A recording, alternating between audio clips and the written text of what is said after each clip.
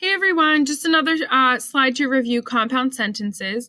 So remember that compound sentences contain two or more independent clauses. So those independent clauses are those simple sentences. And then those clauses are joined by a coordinating conjunction or a fanboy, which is what we talked about. The fanboy is the acronym that stands for for and nor, but, or, yet, so those words are the coordinating conjunctions that combine those independent clauses, the conjunction junction. So on this poster here, it says about the independent clause. Don't forget the comma, the coordinating conjunction, which is the fanboy, and then the other independent clause. So here's a trick when you're looking at them to figure out if a sentence is a coordinating, or I'm sorry, is a compound sentence. So look at number one.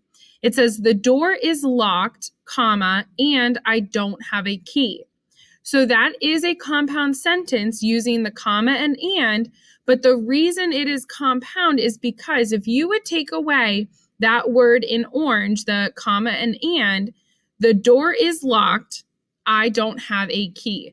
Those are both independent clauses, meaning they could stand alone but they combine them together to make that compound sentence to make it a little bit more interesting.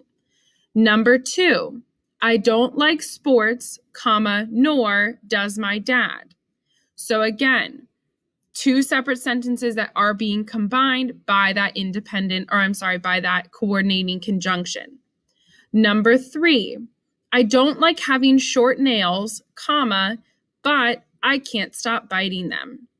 So I don't like having short nails, comma, but I can't stop biting them. It's being combined by that comma and that coordinating conjunction, but both clauses could have stayed alone.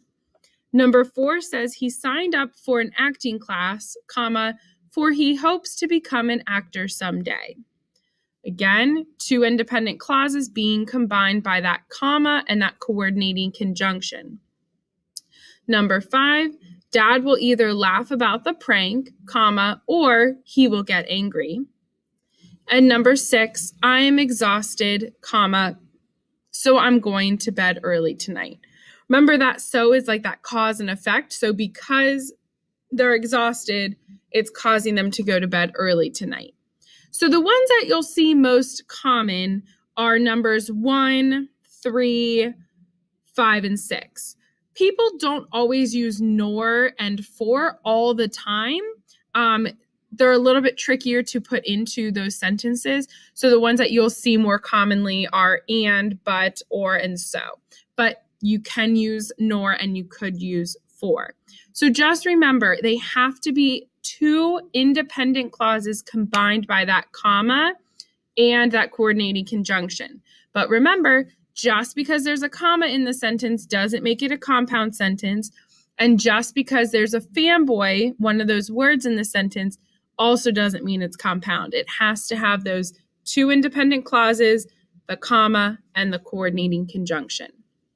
So on the next couple slides, you will get to try and select which ones are the compound sentences and also how to create a compound sentence.